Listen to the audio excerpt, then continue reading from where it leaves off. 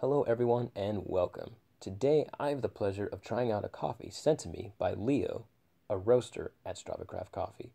Just recently, Leo got back from the U.S. Roasters Championship, a championship in which he placed 17th in the nation, which is pretty phenomenal, and to that, I have to say, congratulations, my man.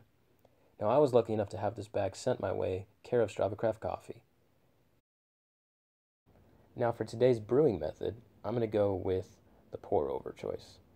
And for that, I like to separate 20 to 30 grams of coffee beans based on how many ounces of coffee I want. In the end, we're going with 23 today.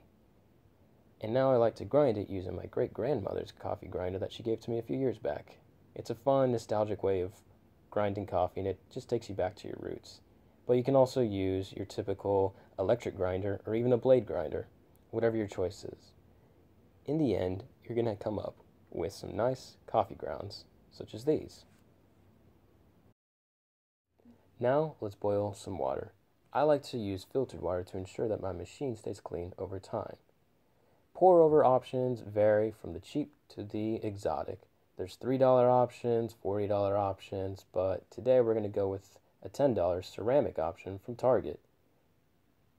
Now when pouring the water over the grounds, it's good to start on the outside and work your way to the center in a circular motion, and then let it sit for 30 to 40 seconds to allow the grounds to degas, after which you can finish filling your cup.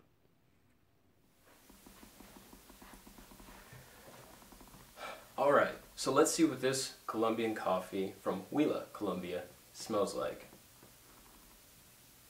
Ooh.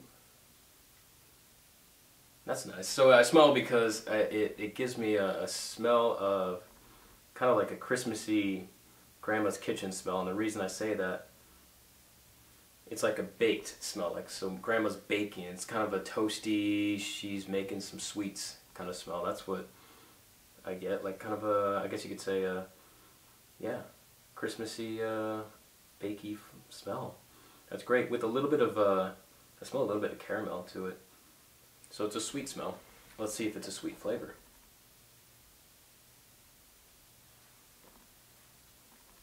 Yeah, there's a sweet flavor to it. There's a sweet, definitely can have a little bit of caramel cherry flavor to it.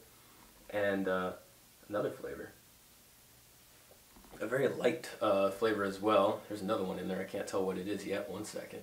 Uh, I like the light flavor. It's a citrus, so a lighter citrus, maybe uh, perhaps like a lemon um, without that uh, acidity to it. Uh, just the light citrus to it and deep, darker. I have a little hint of cocoa to it, just a little, but not a lot.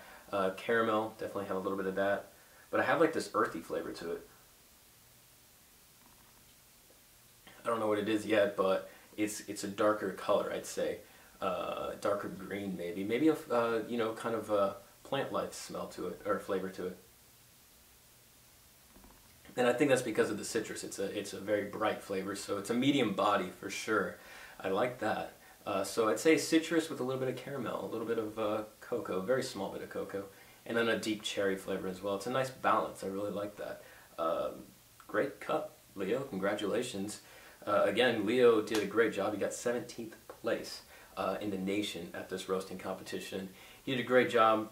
We're proud of him. Everyone at uh, StravaCraft Coffee is proud of him. So good job, man. And thank you for sharing this delicious uh, cup of coffee with me. I really appreciate that.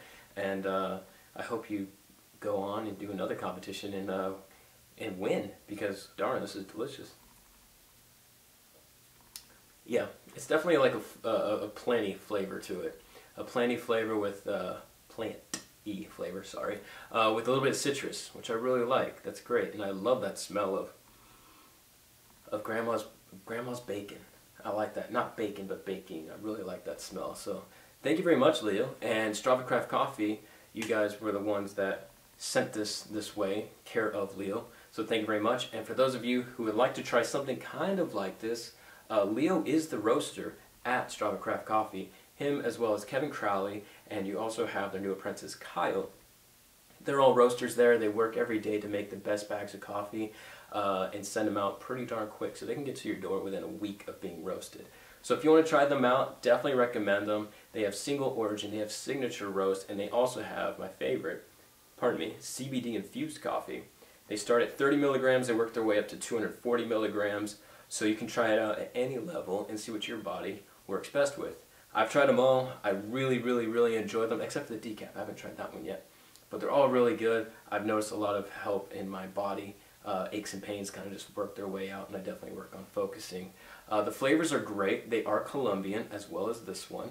Um, and they also have other ones, such as uh, single origins. They have some from Africa, and they also have some from uh, down south. So delicious coffee brewed by Leo and friends. And uh, so while you can't have this specific cup of coffee, you can definitely try out some of his other handiwork. So if you'd like to, go by StravaCraftCoffee.com. I'll have that linked down below, and you can try out some of their work. Um, I also have a coupon code, URBAN10. If you'd like to use that, you get 10% off your order, and you can have that coffee right at your doorstep pretty darn quick. Thank you guys so much for watching, and again, thank you uh, to Leo, and congratulations to Leo for doing so well with this amazing cup of coffee. Hope to see you guys soon. Have a great day.